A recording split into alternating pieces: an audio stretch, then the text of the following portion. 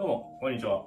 高橋新規の高橋です。えーと、本日は、咳だったり、えー喉の渇きだったり、あと、喘息なんかにもですね、えー、効くツボを紹介したいと思います。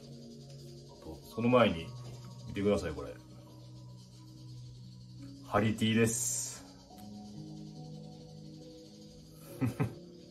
ありがとうございます。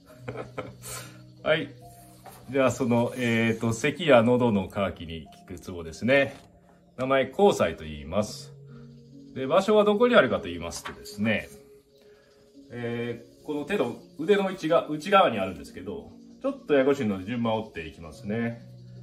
えっ、とですね、まずは、えっ、と、肘、肘関節をですね、ちょっと曲げてください。で、ここ線できますよね。えー線できたときに、ちょっと人差し指で上からなぞるようにこう、下へ下ろしたときに、ちょっとこう、ちょっと真ん中ら辺でですね、えっ、と、引っかかる剣がありますよね。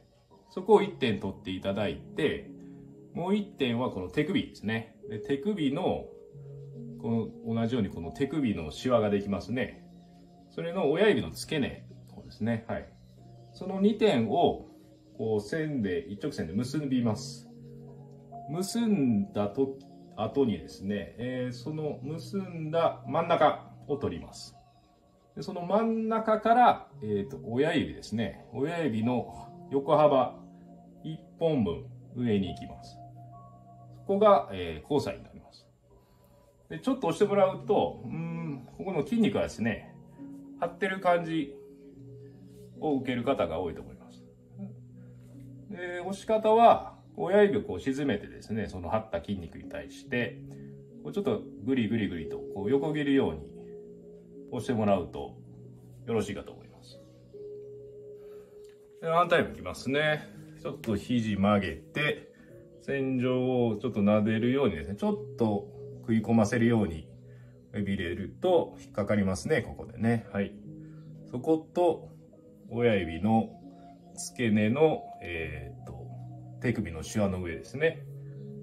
そこを取って、で、真ん中を取って、真ん中から親指横幅1本分上に行ったとこですね。でこうグリグリグリと押すと。はい。まあどうしてもこう秋はですね、空気が乾燥してきますので、まあ咳が出たりですね、と喉が乾燥したりしてですね、ちょっと潤いが足りなくなってきますので、うん。で、このツボはですね、あの、すごいこう、えー呼吸器に対してとても効くツボですので、まあ出る前にですね、こういうふうに、えっ、と、日頃から、あの、押していただけると、えーいい予防になるかなと思います。はい。名前の由来ですね。で、交際と言いますけど、うん。とても、あれですね、ツボらしい、かっこいい名前ですよね。もういろいろあるツボの中で、まあ個人的には、かっこいいランキングトップ3に入るかなという感じですね。はい。はい。で、まあ、こうですね。まあ、これ、まあ、穴とかですね。隙間とかいう意味がありますね。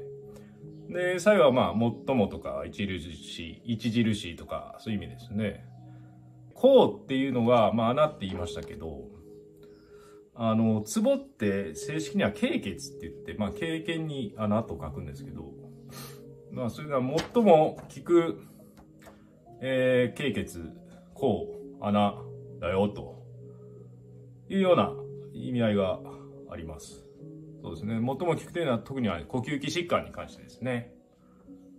はい。そうですね。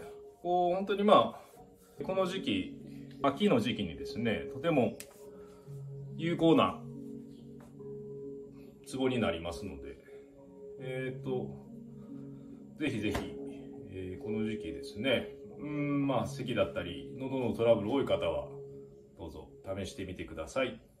はい、本日は以上となります。どうぞ、お大事に。